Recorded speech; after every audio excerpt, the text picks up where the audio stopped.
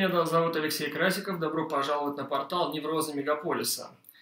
Я приветствую всех зрителей канала. Вновь лекция будет очень объемная, интересная по неврозам, по вегетососудистой дистонии и прочей терапевтической истории.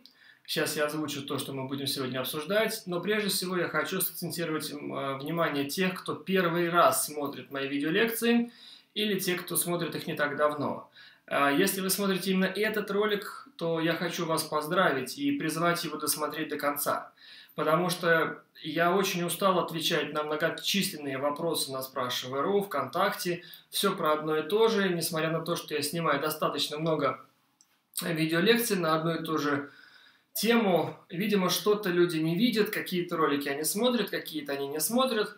Я хочу сегодня сделать очень объемный ролик, посвященный вегетососудистой дистонии, а именно телесным симптомам, как с ними справляться, а почему они вообще-то прежде всего возникают, э, о панической атаке мы будем говорить, и мы будем говорить о психотерапии, о том, как вылечить ВСД, и о том, что такое паническая атака, почему у вас происходят телесные симптомы, как быть, и почему вас врачи футболят, и, собственно говоря, как психотерапевт в виде какой-то болтовни э, в кабинете или по скайпу вам поможет. И поможет ли вообще. И на что способна психотерапия. Я расскажу всю правду о психоанализе и всю правду о современной психотерапии. Так что не переключайтесь. Итак, а, я выписал себе несколько вопросов, которые задают на спрашивай.ру. Там уже 9 тысяч отвеченных и 5 тысяч неотвеченных. И поверьте мне, из 5000 неотвеченных, в принципе, все, что я буду сегодня рассказывать, будет именно об этом, поэтому я вас призываю внимательно слушать и не задавать такие же вопросы э, вновь и вновь. Итак, прежде всего, самый главный вопрос, который задают люди. А, телесные симптомы ВСД, ком в горле, тахикардия, чувство нереальности происходящего, дисфункция кишечника – это телесно имеется в виду. Скачки давления. Как быть? Какие техники применить в психотерапии? И к какому врачу пойти? Итак, давайте начнем с того, что такое телесные симптомы, что такое вегетососудистая дистония по определению и по факту. А если вы прошли всех врачей, и вас все футболят из кабинета в кабинет и говорят, что у вас ВСД, то вы смело можете понимать, что, скорее всего, у вас нет никаких органических заболеваний. И сейчас я вам это докажу. У вас есть чувство нереальности, слабость, тахикардия, ком в горле, и ощущение дискомфорта в организме. И мы сейчас не берем эмоциональный компонент, мы сейчас берем только тело. Тахикардия, экстрасистолы, ком в горле, тяжелый вдох, тяжелый выдох, э, головокружение, скачки давления, диарея, потливость, озноб, жар. Если вы прошли врачи и вам говорят, вы абсолютно здоровы, можно пускать вас в космос, но у вас ВСД, я хочу вас обрадовать. У вас нет органической болезни, но то телесно, что вы, проявля... что вы чувствуете, это есть телесные проявления невротического расстройства. Итак, и когда мне задают вопрос, как бороться с комом в горле, как бороться с тахикардией, как бороться с экстрасистолой в неврозе, как бороться, когда меня кроет телесно, я вам отвечу следующим образом. Никак. Никак с этим бороться не нужно. Я сейчас объясню почему. Даже не то, чтобы не нужно, а это неким образом бессмысленно, пока вы не поймете основную суть, почему так происходит. Почему же у вас возникают такие телесные явления, и где врачи не видят патологии. И вот здесь начинается самое интересное. Вспомните, пожалуйста, ситуацию, когда вы прыгали с парашютом. Кто прыгал с парашютом? У вас колотилось сердечко, у вас потели ладошки. Вам было страшно. Вы осознавали то, что вы прыгаете с парашютом, вам страшно. Вспомните ситуацию, когда вы дрались на улице. У вас сухость во рту, тяжелое дыхание, тахикардия, все напряжено вы деретесь. Вспомните ситуацию, когда вы убегаете от собаки. У вас сильное напряжение, у вас стучит сердце, вам тяжело э, глотать, и вы даже практически забываете, что вы дышите. Вы убегаете. Вспомните ситуацию, когда вы с кем-то яростно ругаетесь. Вам не хватает нормального вдоха, вы теряете темп речи. И, кстати, про публичное выступление тоже, тоже самая история. А, у вас онемение, скованность, вы напряжены, злитесь, стучит сердце. Вспомнили все ситуации, где вы конфликтовали или вам было страшно? Или что-то угрожало вашей жизни? Тахикардия, ком в горле, состояние какой-то отрешенности, ватные ноги. Вспомнили? Тот же самый страх у стоматолога. Все, вообще, Лёлик, подожди, я выйду. Вспомнили страх? Как он телесно проявляется? Хорошо. А теперь представьте себе, что вы идете за любимой сумочкой в магазин, и у вас наконец-то появились деньги на любимую сумку Michael Kors. Или часы. Или вы покупаете новую машину. Или вы идете на свидание с парнем или с девушкой. Как вы себя телесно ощущаете? Сердечко стучит? Стучит. Неприятное ощущение внутри тела, у кого-то даже кишечник шалит. Но вы идете в позитивную историю, вы тоже переживаете. Смотрите, если взять все эти истории и посмотреть на них объективно, вы можете свои истории сейчас придумать. Вы видите очень интересный парадокс. Парадокс в том, что везде ваше тело реагирует одинаково. Что вы прыгаете с парашютом, что у вас оргазм. Тахикардия, не менее ног и так далее. Телесно вы проявляетесь одинаково, но понимаете вы ситуации по-разному. И они либо позитивные, либо они негативные. Но телесно одинаково. Так вот то, что вы испытываете телесно при прыжке с парашютом или драке, или при оргазме, или покупке машины, это и есть вегетативная реакция на вашу эмоцию. Это либо страх, если вы прыгаете с парашютом, либо это какая-то эйфория и радость, если у вас там оргазм, или вы встречаетесь с кем-то, или вы покупаете машину. Понятно? То есть Тело реагирует на эмоции, это медицинский объективный факт, здесь нечего пытаться высасывать что-то из пальца, что-то уникальное. Любая ваша эмоция в какой-то степени крайности будет резонироваться ваше тело.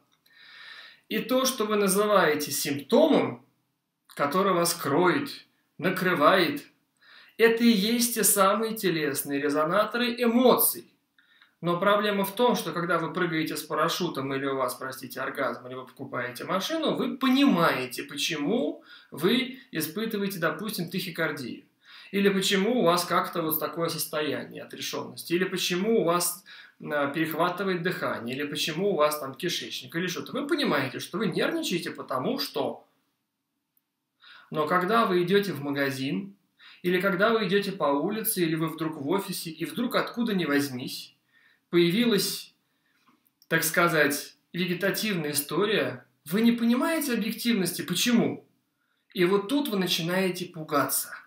Потому что когда ваш здравый смысл не понимает, что вдруг с моим телом, у вас первая мысль, как у тревожно-мнительных товарищей, «Ой, а вдруг это как у Михаила Михайловича инсульт? А вдруг это как у Ивана Ивановича инфаркт? А вдруг это так, как я читал когда-то в интернете? Ой-ой-ой! И вот в этот момент вашими мыслями, я хочу это подчеркнуть, мыслями, вы начинаете придавать этому излишне катастрофическое значение, и если любой человек вдруг начнет так думать, он испугается, потому что он будет действительно верить. Итак, у нас сначала было вегетативное напряжение, я сейчас расскажу, откуда оно появилось. Вегетативное напряжение – это была вытесненная эмоция. Вы ее не осознавали. Ну, например, пример. Эм, какой бы пример привести? Вы идете в магазине, в супермаркете. И вдруг откуда ни возьмись, у вас застучало сердечко, у вас начинает потеть руки, у вас ком в горле, и вы думаете, ой, это приступ, наверное, это инсульт, или, наверное, это инфаркт, потому что о какой эмоции идет речь, вообще ни о чем не думаете, и у вас нет никаких эмоций, кроме страха за то, что сейчас происходит. Так? Нет. Вам кажется, что это так, но на самом деле это неправда. На самом деле то, что и происходит вегетативно у вас на улице, на работе или дома или еще где-то, на это есть абсолютно естественные причины. Вы в определенных ситуациях что-то испытываете, о чем-то думаете и испытываете какую-то эмоцию к тому, где вы находитесь или о чем вы думаете. Там есть много вариантов, я сейчас попробую на чем-то остановиться – но вы не испытываете, или эта эмоция вытеснена из той сферы жизни, которая вас окружает. Например, в семье, в родительской семье, дома, на работе, еще где-то. И вы не придаете этим эмоциям внутреннего значения, потому что вы их не осознаете. Но проявляются они телесно так, как будто они есть сейчас. И, естественно, не по делу. И вот эта вот эмоция телесная, так сказать, проявление не по делу вас и пугает, потому что вы об этом не в курсе. И вот тут есть самый интересный момент. Если вы идете по магазину, вспомните, пожалуйста, кто помнит телесные э, проявления э, оргазма. Тахикардия, глубокое поверхностное, частичное поверхностное дыхание, кружится голова, э, пот, э, жар. Вот представьте себе это эмоциональное состояние. А теперь представьте, чтобы вдруг в магазине испытали это. Многие люди, многим людям нравится оргазм, они от этого получают большое удовольствие.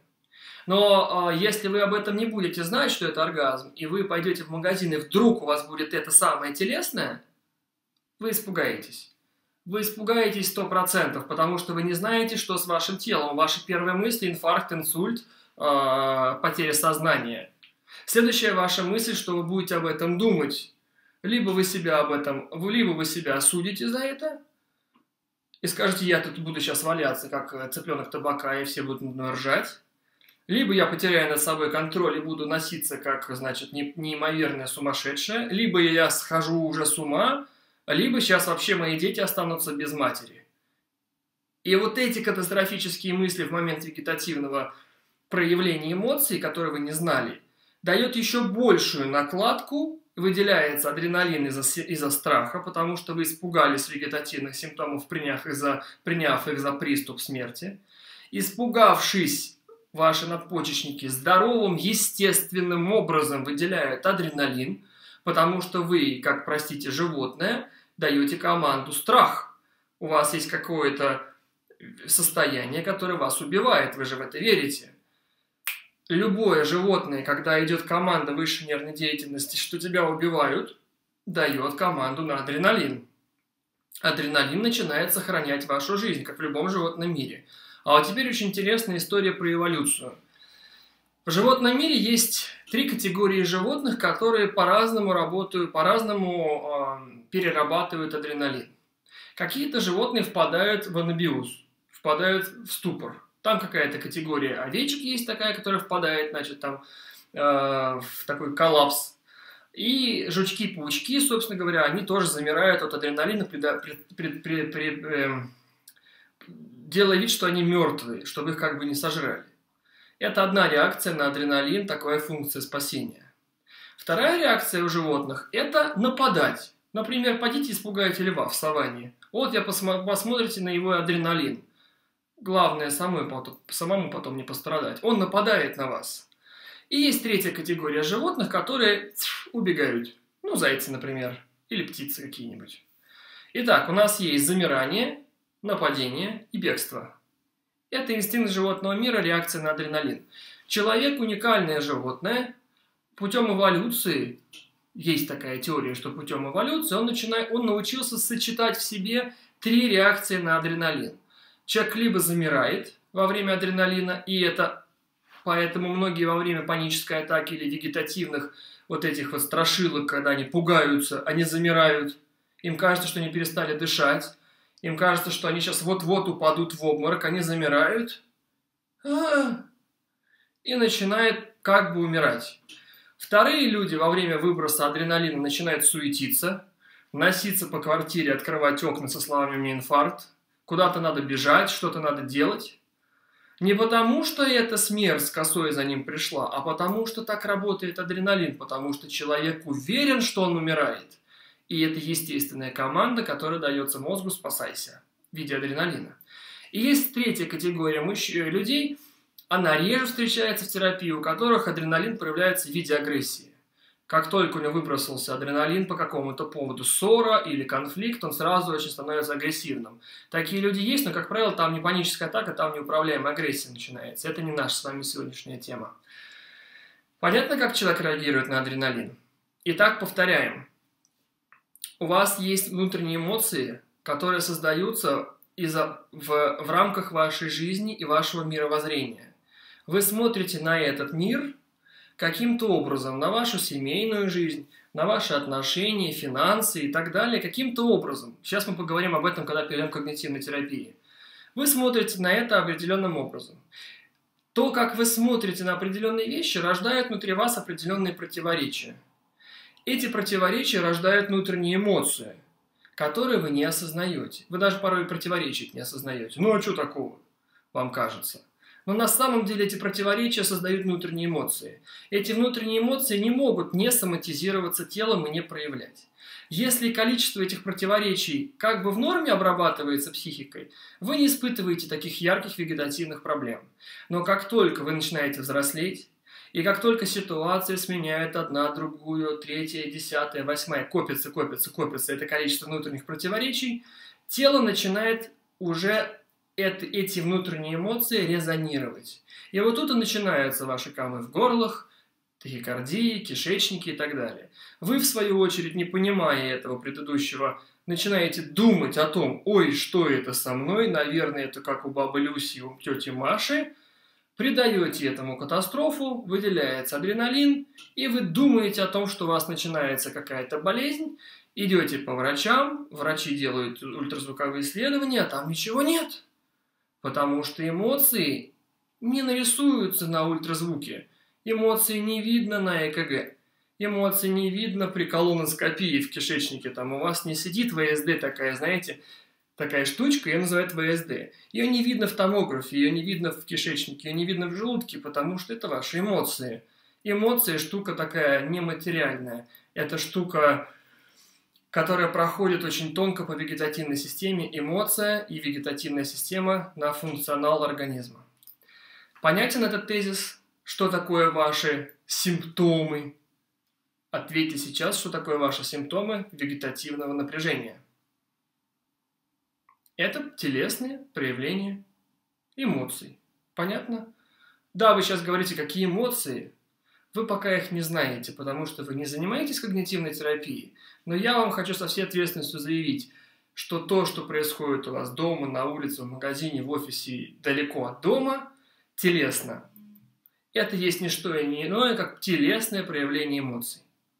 И я научу вас в дальнейшем с этим работать, и, я, и так это моя работа. Я этим занимаюсь 6 дней в неделю на протяжении многих лет. Это тезис первый. Тезис номер второй. Как же возникает паническая атака? Собственно говоря, мы только что это разобрали. Когда вы идете в магазин, у вас проявляется вегетативное напряжение. Ну, давайте возьмем э, не магазин, давайте возьмем что-нибудь другое. Например, метро. Я покажу, как работают рефлексы Павлова. Хотите? Очень просто. А, ну, возьмем людей, которые избегают метро или улицы. Там можете подставлять любые события. Смотрите, как это выглядит. Видно? Ситуация. Давайте возьмем за ситуацию какое-нибудь там метро, да, например. Вы едете в метро, это ситуация. И у вас в метро, как я уже сказал, из-за того, что у вас есть определенные внутренние конфликты вашей реальной жизни, у вас потихонечку тело начинает эти эмоции резонировать. Ну, с мужем, с женой, с детьми, с деньгами, с работой, с начальником, с учебой, с тем, что я выполняю, с карьерой там, и так далее. Начинается вот все это подниматься телесно. И вы испытываете телесную реакцию. Я напишу так, Т1, окей? Вы едете в метро, и у вас телесная реакция. Что-то вам как-то дискомфортно в этом метро стало. Как-то что-то не очень уютно, вегетативно. И вот тут возникает следующая мысль мысль один напишу вот так. И вы думаете, ой, а что это со мной? Что-то мне как-то кружится, что-то мне застучало. И вот дальше вы говорите следующее, мысль 2.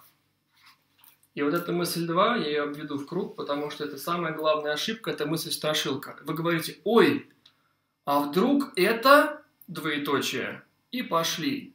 Как у бабы Люси инсульт, как у тети Маши инфаркт, а вдруг это как у моего папы, как у дедушки, как у мамы, а вдруг я читала где-то, а вчера мы похоронили, а вдруг я схожу с ума, потом у вас идут мысли третьего порядка, что будет, если я умру, упаду, окакаюсь, описываюсь прямо здесь и сейчас, а если я схожу с ума, если это шизофрения, и начинается вся вот эта петрушка. От этого всего кошмара, который пронесся у вас в голове, я вот сюда нарисую, выделяется адреналин, буковку А вот так вот. Адреналин, когда выделился, вы, соответственно, уже сегодня люди уже образованные, знаете, что вы либо замрете, либо побежите, либо на кого-то будете нападать. Ну, скорее всего, вы либо замрете, либо побежите. Ну, предположим, что вы побежали с испугу от того, что вы подумали. Вы побежали, и вы, допустим, выбежали на улицу или вызвали скорую, вам накапали карвалола, вам дали феназепам, или вы позвонили маме почему-то в этот момент. Очень интересно, умирающие люди. Представляете, люди помирают, а в этот момент звонят почему-то родителям. Привет, давай поговорим. Как? Да мне что-то как-то не очень хорошо. Странные что-то умирающие люди какие-то, которые начинают звонить. Что это за инфаркт, который бегает по квартире со словами «откройте окна, вызовите скорую», когда при инфаркте, на самом деле, люди не могут ходить вообще, в принципе. И вот в этот момент вы побежали. И вы, допустим, выбежали на улицу или вам накапали успокоительных, и вам стало хорошо. Я такую английскую букву R нарисую, типа «relax». Вам стало хорошо, вас отпустило, вы сказали «успела». И вы либо успели прибежать домой, либо вы успели поговорить с мамой, либо вы накапали карвалол, либо приехала скорая. Вы успели, вы не умерли. И вот теперь возникает следующая проблема. Ваш головной мозг запомнил ситуацию, и эту ситуацию Иван Петрович Павлов назвал стимулом. Это был стимул, допустим, метро, или улица, или офис. В этом стимуле вы испытали эмоцию, то бишь реакцию по Павлову, страх. А затем вы убежали, и вы накапали себе какую-то гадость, и вас отпустило, и это называется подкрепление. Стимул, реакция, подкрепление. Метро, страх, убежала, выпила. Метро, страх, убежала, выпила. Вот вам рефлекс собаки Павловой. Пойдите сказать, что мы не животные. А дальше возникает следующее. Как формируется агорафобия? Если таких стимулов, где вы убежали, было много, и они все больше, больше, больше, больше плодятся, метро, трамвай, дальнее расстояние, вы начинаете их избегать. Вы просто начинаете туда не ходить, говорите, а ну его нафиг, а вдруг там вдруг. Избежали, значит подкрепили опять страх. И вы начинаете потихонечку избегать этого, этого, этого. И суть проблемы агорафобии заключается не в том, что вы умираете. А суть проблемы агорафобии заключается в том, что вы можете просто себя довести до состояния изоляции дома и не выходить при определенных условиях ну, без родителей или без каких-то там фармакологических препаратов. Понятно, что такое агорафобия и как она с панической атакой сочетается. А все из-за чего? А все из-за того, что вы один раз неправильно подумали. У вас было вегетативное напряжение, вы подумали, ой, катастрофа, караул, караул, караул, и побежали. Понятно теперь, что такое паническая атака и откуда? Теперь многие задают вопрос, откуда же я еду в метро и почему у меня раньше не было вот этого вегетативного, которое я потом катастрофизирую, а тут оно вдруг откуда-то появилось. Что за эмоции, говорит, такие, Красиков? Что за эмоции? У меня нет никаких эмоций, я просто тупо ехал на работу. Нет, эмоции есть. Проблема в том, что вы не придаете существенного значения тем факторам, которые происходят в вашей жизни. И как бы их глотаете, подавляете, не обсуждаете, говорите потом, или это не важно, или это как бы не главное. И, естественно, это копится, копится, копится. И это такой накопительный выход в вегетативную реакцию эмоций. Бывает реактивно, когда вдруг резко случается какая-то ситуация, которая явно противоречит вашему мировоззрению или вашим убеждениям, и вы резко выдаете вегетативную реакцию эмоций, которую потом, опять же, также резко пугаетесь, и начинается паника. Здесь начинается дальше очень тяжелая история неврозологии, потому что, конечно, у этих симптомов начинается примешиваться вторичная выгода, но мы сегодня об этом поговорить не успеем, потому что потом вы начинаете ходить по врачам, потом вы начинаете что-то читать, изучать, и уходите совершенно в параллельную сторону, которую уходить не надо. А теперь я вам расскажу, что надо делать. Понятно, что такое ваша телесная проблема. Ясно теперь, что такое паническая атака, как это формируется и почему, что это адреналин, что это изначально на это есть причина. и что вы катастрофизируете это своими мыслями. Паническая атака «Как быть?» Рассказал систему панической атаки. Значит, как быть? Существует несколько упражнений а, для того, чтобы разрывать рефлексы, как агорафобические, так и панической атаки, так и любого страха, который вот так вот обусловлен. Стимул, реакция, подкрепление. Мы работаем с подкреплением, работаем с реакцией, со стимулом. Собственно говоря, упражнений много. Я о них много говорил. Кому нужны эти упражнения более подробно, милости просим на сайт Без Невроза ТВ. Есть много вебинаров, есть дистанционный DVD-материал, который вы можете обсмотреться, если вам мало видеолекций.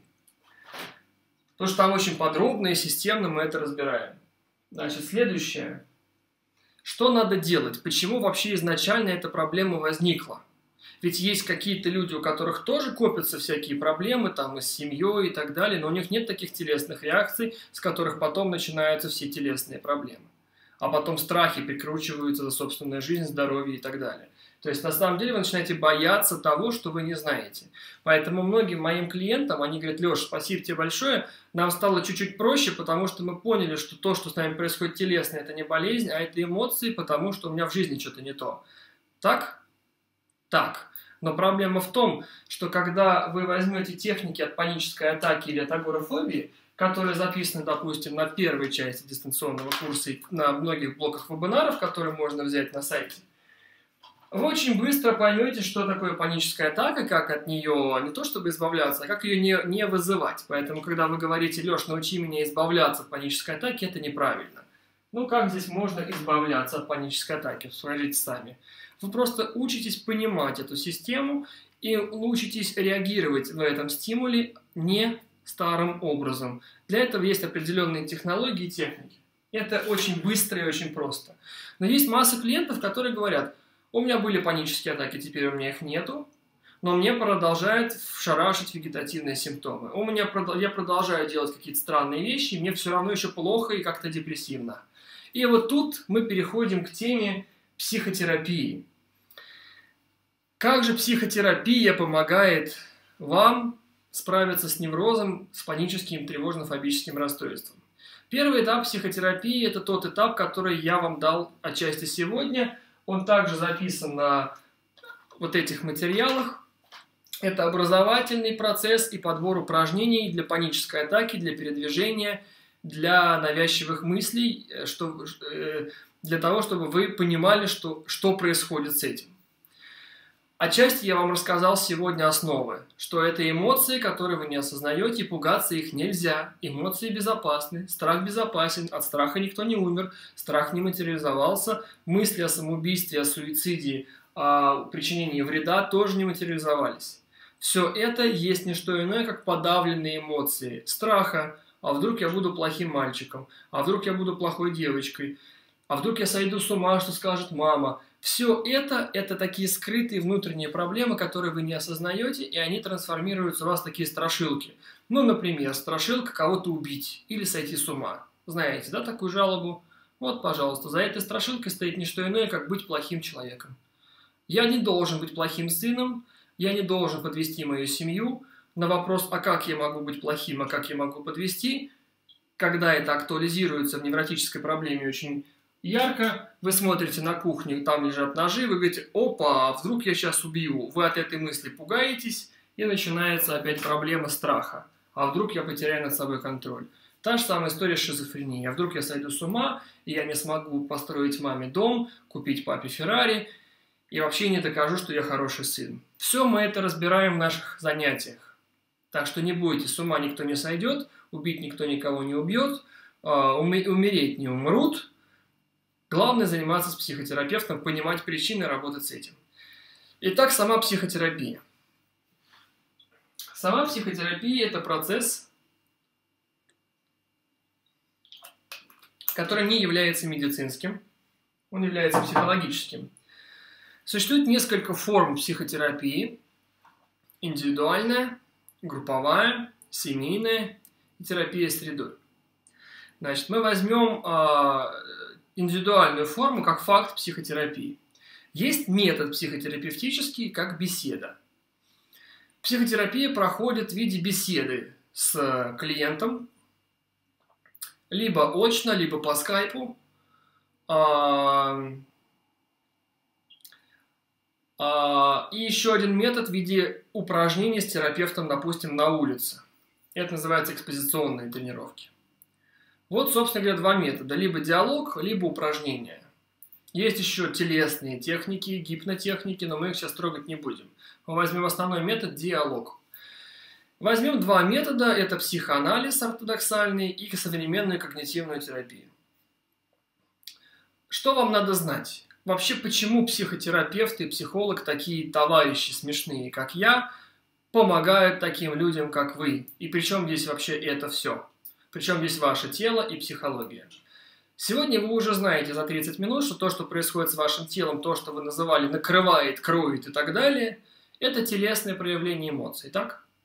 Так. Именно поэтому врачи ничего не находят. Значит, надо понять, откуда эта эмоция рождается, так? Так. Научно доказано и эмпирически, что эмоция, любая, радость, злость, вот эти две крайности, рождаются от того, что вы думаете в какой-то ситуации – то бишь это выглядит так. В какой-то ситуации вы что-то подумали, как-то это оценили, родилась эмоция и родилось поведение. От, этого, от этой эмоции, от этого поведения родился ваш поступок. И вот тут я хочу вам сказать то, что я никогда вам не говорил.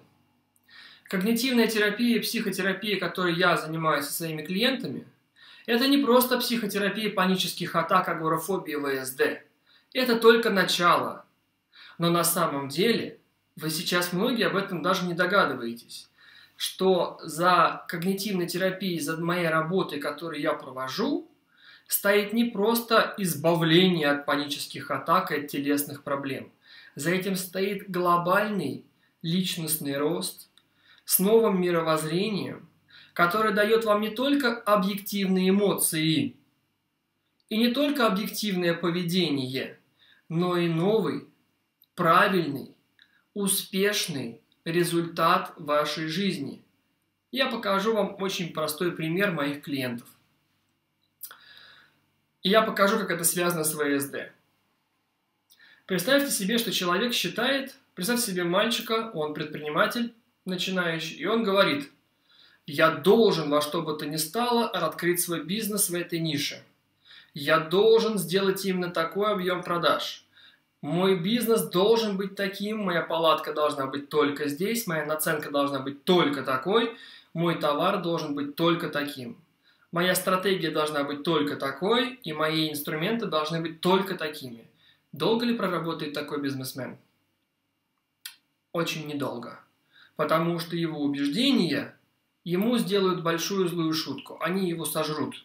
Потому что когда ситуация рыночная будет меняться, его убеждения не дадут ему принять новых решений, потому что он думает, что он должен. И будет проблема с бизнесом, он его потеряет. И будет потом в депрессии пить антидепрессанты. Теперь смотрите, как это выглядит на ВСД. То, что мы называем вегетативными проблемами, это ваши эмоции. Вы уже об этом поняли. Это вызывает, что вы что-то думаете о какой-то своей сфере жизни или в целом о мировоззрении. То, что вы думаете, это объективно неконструктивно, потому что вы думаете очень ригидно, очень жестко, невариативно, однобоко, очень сильно преувеличено или как минимум необъективно и нелогично – это вступает в противоречие с определенной сферой вашей жизни. Из этого рождаются неконструктивные эмоции, которые а. соматизируются в ваше тело, дают вам дискомфорт, то, что вы ошибочно принимали за приступ, б. дают вам не только негативные эмоции, но и дают вам негативное поведение. Ну, допустим, вы уходите с работы, расстаетесь постоянно с парнями, ссоритесь, ругаетесь, изолируетесь. Это неконструктивное поведение даст вам много денег, вы много денег заработаете, когда вы будете постоянно изолироваться? Нет. Будет ли у вас успешный секс? Нет. Будет ли у вас классная машина и классная девочка в соседней комнате? Нет. Потому что неправильное мышление, не то чтобы неправильное, а не объективное, не гибкое, не вариативное, не логичное, дает вам такой же результат. Никакой. Именно поэтому, когда вы смотрите сейчас на свою жизнь, вы видите такой плачевный частый результат, где нет денег, нет счастья, нету радости и нет удовольствий. Не потому, что это объективно, вы к этому, на это были запрограммированы, и у вас это на звездах, а потому что вы так себя ведете. А ведете вы себя так, потому что вы понимаете мир определенным образом. От этого понимания мира рождаются определенные эмоции и поступки. Мало того, что ваши эти эмоции вам мешают, так вы еще и поступки делаете такие, которые не приносят вам ни денег, ни женщин, ни мужчин, ни счастья. А потом вы приходите и говорите, вылечите меня, как быть? Поэтому и нету лечения в медицине, и ни одна таблетка левроза не лечит. Потому что если вы хотите не испытывать таких эмоций, если вы хотите не испытывать, не делать старые вещи, это знаете, как похоже, как вы по граблям ходите по кругу, и на одни и те же грабли наступаете. Те же мужчины, те же женщины, те же поступки, те же проблемы, те же ссоры – те же поведения, а потом вы удивляетесь, что мир такой плохой. Я стараюсь, стараюсь, а у меня что-то бабла нету как-то, вот что-то нету. Нету Мазерати, нету э, классного мужчины, нету классной женщины. Да потому что вы делаете все одно и то же. И вы не разрабатываете ваше мировоззрение, потому что оно у вас, я уже говорил, какое, не объективное. И вот как раз когнитивная терапия той, которой занимаюсь я вместе с анализом, сейчас я подробнее об этом буду говорить, занимается не просто панической атакой, не просто агорафобией. Это лишь маленький кончик айсберга, где ваши эмоции соматизируется тело, которое вы просто испугались по незнанию. За паническими атаками, за агорафобией и вашими страшилками стоит огромный пласт того вашего мировоззрения, который приводит вас к постоянным внутренним проблемам – и эти внутренние проблемы приводят вас к постоянным неконструктивным поступкам, а эти неконструктивные поступки приводят вас к хреновому результату вашей жизни. Поэтому моя работа больше, чем панические атаки, и гораздо больше, чем просто телесные симптомы. И когда мне говорят, как быть, что делать, я все время говорю, идти к психотерапевту. Люди не понимают, почему. Я надеюсь, что я сейчас вам объяснил, что психотерапия, ну, в принципе, вы можете ограничиться только панической атакой. Вы можете ограничиться только агорафобией, вы можете ограничиться только тахикардией. Но я же знаю, что это не изменит проблему. Да, у вас не будет панической атаки, у вас не будет агорафобии, но результата в жизни не будет. Вы как зарабатывали свою тридцатку, так она и вас и будет. Вы как ругались со своим мужем, как вас вегетативно шарашило периодически, так оно и будет происходить. Просто вы не будете, скорее всего, этого бояться. Это максимум, чем вам грозит недоработка невроза. Вы будете жить так же печально, все будет так же угрюмо, но вы просто не будете испытывать панику верхней точке вегетативного напряжения. Все, и ничего больше не поменяется. Поэтому, когда вам говорят исцеление от панических атак только сегодня, это решит вашу проблему, ВСД, это иллюзия. И либо человек просто не совсем понимает, что он делает, либо это просто обман. Потому что за этим стоит глобальная проблема. Я думаю, что вы многие уже с этим столкнулись. Что панических атак нет, агорафобии нет, но что-то как-то мне не лучше. Так вот, психотерапия моя, мой метод, которым я занимаюсь, называется когнитивно-аналитический. Мы берем фундамент психоанализа и фундамент и основу когнитивной терапии. Как я это совмещаю? Рассказываю. А, допустим, вам 30 лет, и у вас панические атаки абсолютно правда, что то, что я вам сейчас рассказывал, вот это ваше мировоззрение, и то, что формирует ваши внутренние конфликты, формируется в детстве. Это правда.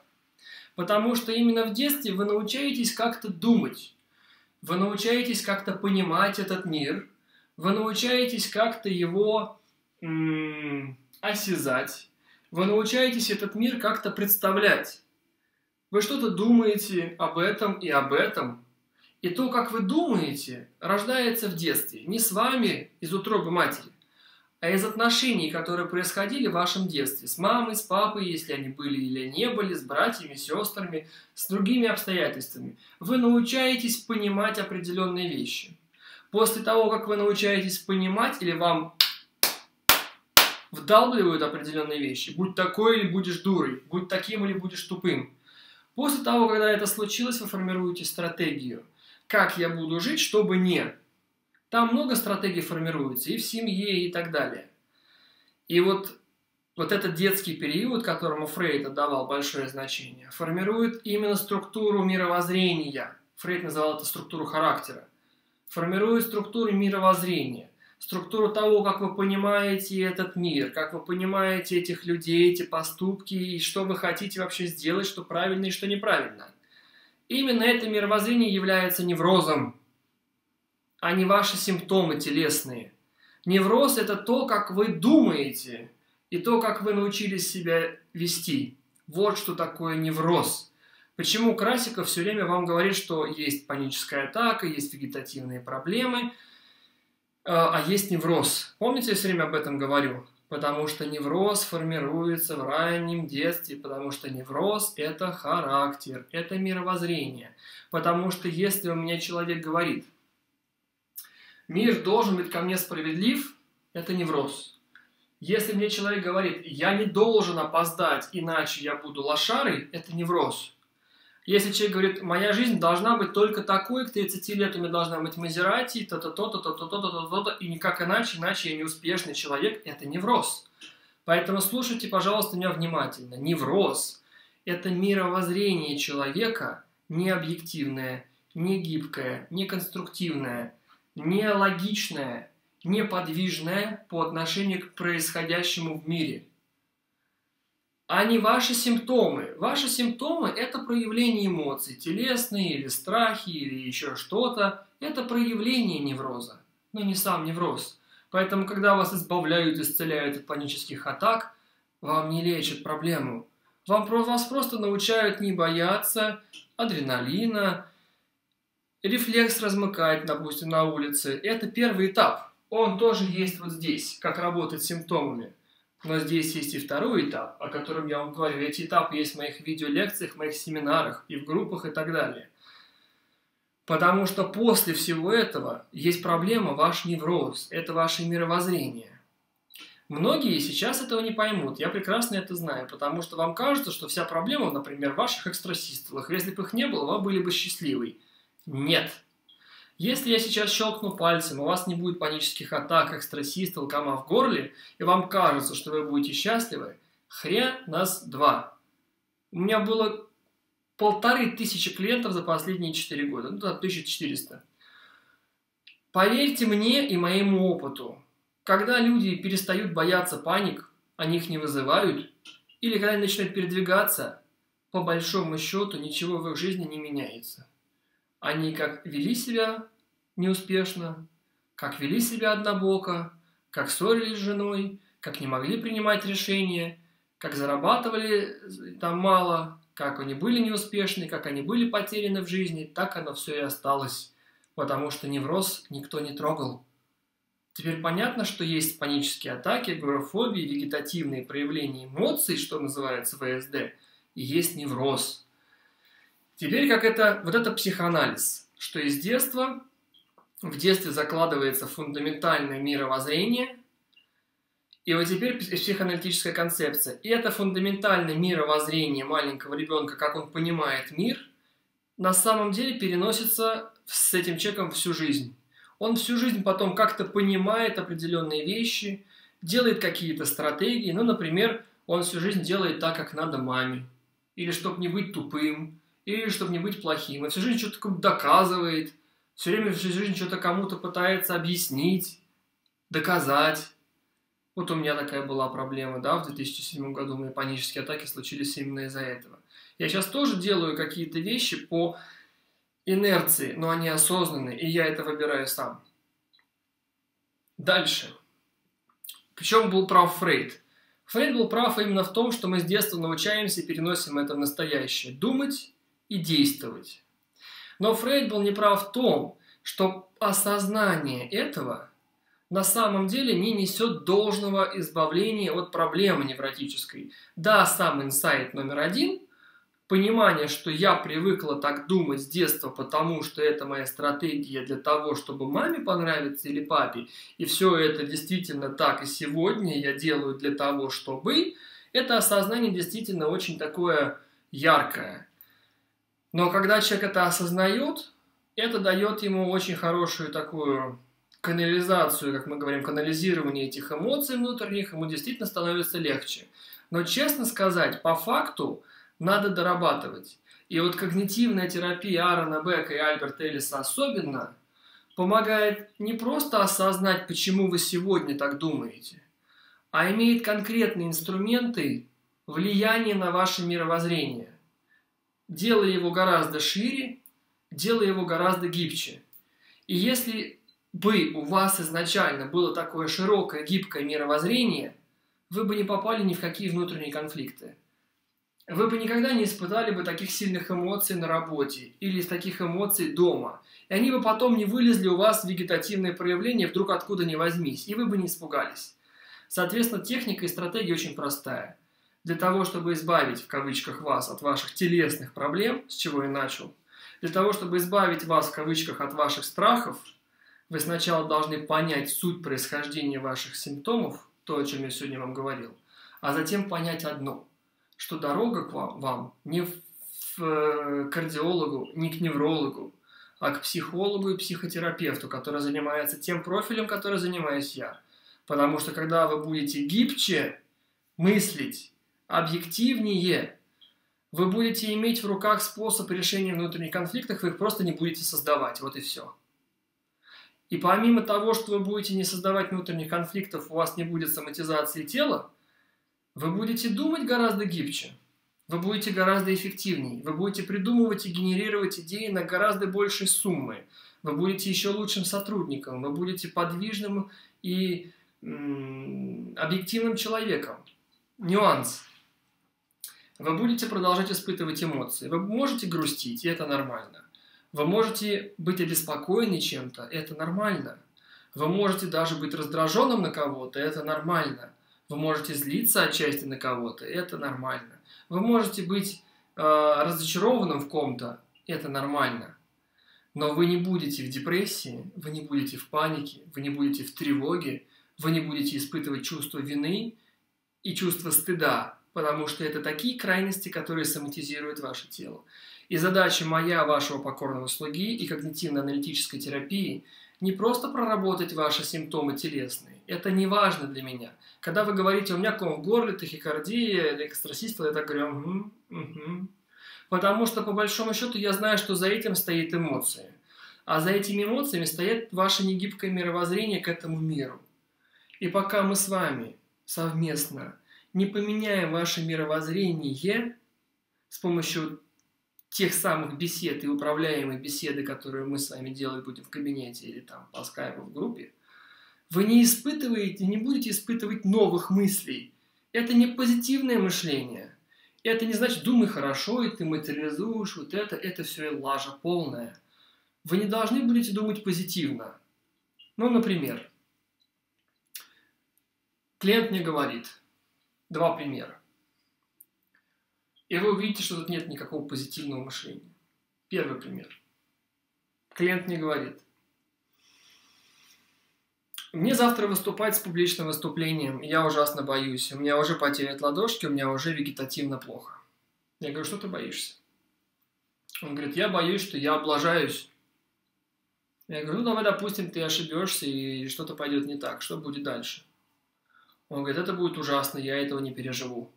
Я говорю, почему? Он говорит, ну все подумают, что я полный лошара. Я говорю, предположим, все подумают, что ты не самый лучший оратор в этом городе или в этой компании. Что будет дальше? Тебя уволят, от тебя откажется мать и жена. Нет, меня не уволят и не откажутся, просто мне будет неприятно, что я ложанул. Ну, допустим, тебе будет неприятно, что ты ложанул, что будет дальше? Я буду переживать. Как долго?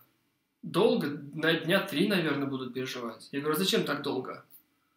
Ну, не знаю, может быть, меньше. И я ему говорю следующее. Я говорю, смотри, что ты думаешь. Ты говоришь, я не должен ложануть на публичном выступлении. У меня не должно быть тревоги и беспокойства. И если у меня будет косяк, это ужасно. И это повлияет на всю мою будущую жизнь. А это и есть твоя проблема потому что ты не рассматриваешь свою проблему, допустим, ошибку в публичном выступлении, локально. Что я сейчас просто ложанул, потому что я не очень там, талантливый, не очень, не очень а, часто выступаю, я потом буду исправлять ошибки, на ошибках учиться, и все ошибаются. Ты не смотришь на это объективно, ты смотришь на это как на катастрофу всей жизни. Вместо того, чтобы сказать, да, я локально ошибся, это всего лишь на все проблемы сегодняшнего дня, и это никак не повлияет на всю мою дальнейшую жизнь. Нету в этом ничего катастрофичного. И ты рассматриваешь проблему конкретно персональную, не локально, что она случилась сейчас. Ну, например, ты идешь в Макдональдс, и ты разлил Кока-Колу. И у тебя первая мысль, о боже, какой кошмар, это, это ужасно, это стыдно, сейчас все думают, что я лошара. Ты не рассматриваешь эту ситуацию локально, что ты случайно разлил Кока-Колу, так бывает. Было бы лучше, если ты этого не делал, но э, ты не, с чего ты решил, что о тебе все думают, и почему они все должны о тебе думать. Каждый день Кока-Кола проливаются, в этом нет ничего страшного. И вместо того, чтобы понять это локально, ты начинаешь принимать это на себя. Это я разлил Кока-Колу, и это я говно это я накосячил с публичным выступлением, это я ни на что не гожусь и больше никогда не смогу выступать. Ты не рассматриваешь эту ситуацию локально и изолированно. Ты ее оцениваешь, во-первых, на себя, что ты полное ничтожество, во-вторых, у тебя еще ничего не получится в жизни потом вообще.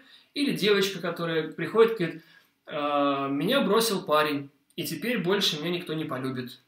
Гениальное просто умозаключение. Безусловно, 7 миллиардов, и никто ее больше не полюбит. Потому что они рассматривают эту ситуацию, что есть Маша, есть Леша, они не сошлись характерами. Кстати, об этом мы будем говорить очень подробно 12 апреля. Не сошлись характерами, и это просто локальная проблема Маши и Леши, а не в целом проблема будущей этой девочки. И вот такие вот примеры, это маленькие-маленькие примерчики из того, как люди думают. И поверьте мне, это лишь маленькие примерчики. И из таких маленьких осколков, которые я вам сейчас привел в пример, складывается целое мировоззрение.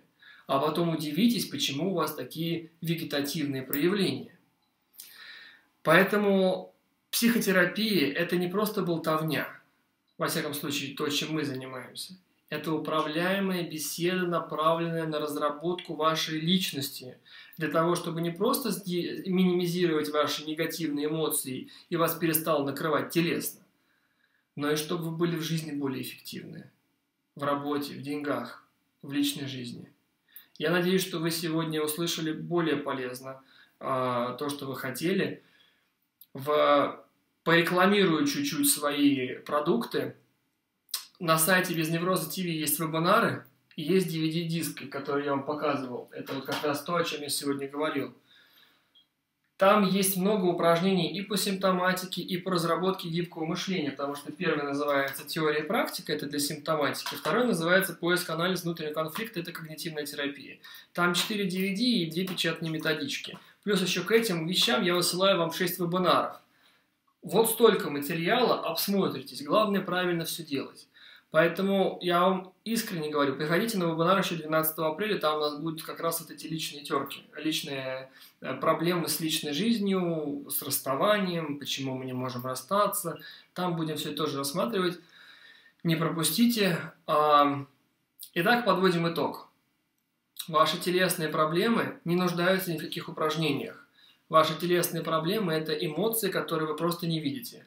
Вам надо научиться вычленять мысли – эмоции в каких-то ситуациях. Этим занимается когнитивная терапия. Второе, вам надо научиться не бояться этих вегетативных симптомов. Третье, потому что это эмоции, они никого не убили. Следующее, вы должны понимать, как запускается паника с панической атакой с адреналином. Это тоже вы сегодня услышали.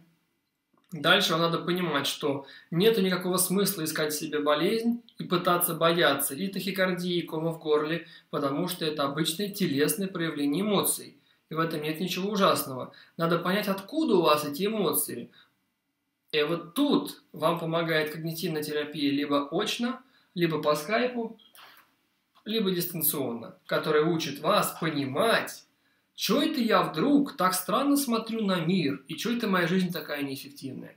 Поэтому, подводя итог сегодняшней лекции, психотерапия в 2014 году – это не просто терапия панической атаки агорафобии – благодаря психотерапии и вот этой когнитивному нашему подходу вы делаете себя более успешными, более гибкими и более объективными в жизни.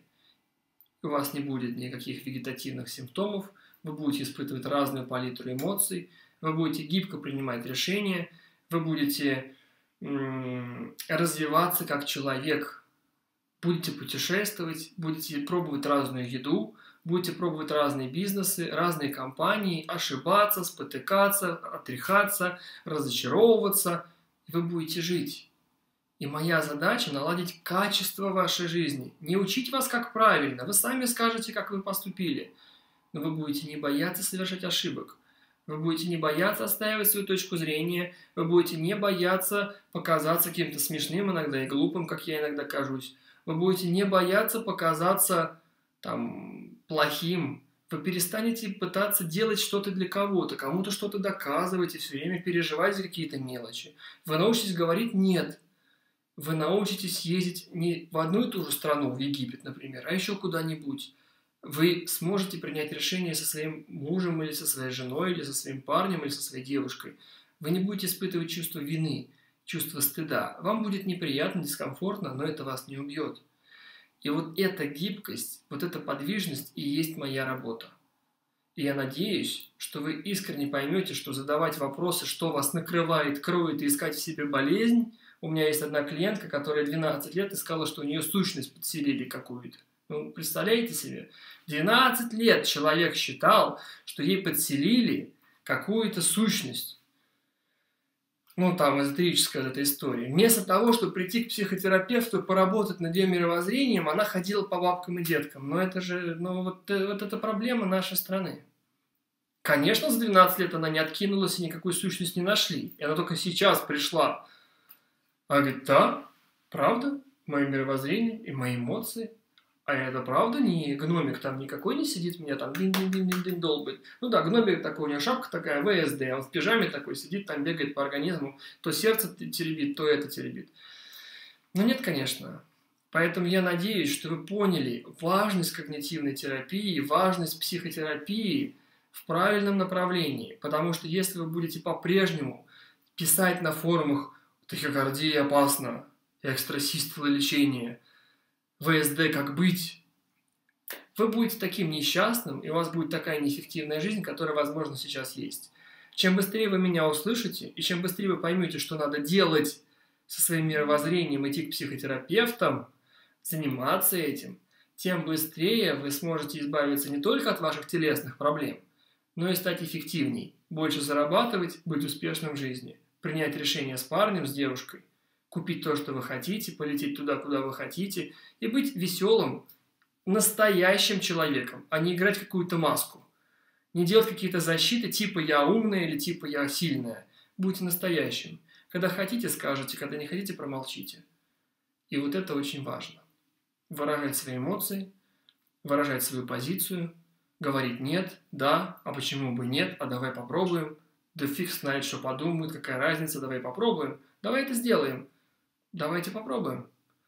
Я желаю вам удачи и здоровья. Я надеюсь, эта лекция была для вас интересной. Все вопросы на сайте Без Невроза ТВ, мне ВКонтакте. Вебинары, дистанционный курс и я доступен в Москве. Пишите, звоните, чем могу, помогу. Канал Невроза Мегаполиса, ваш Алексей Красиков. Увидимся 12 апреля на вебинаре. Приходите обязательно. Три часа будем объяснять, будем обсуждать личностные проблемы. Увидимся. Спасибо, что смотрели. До встречи, пока.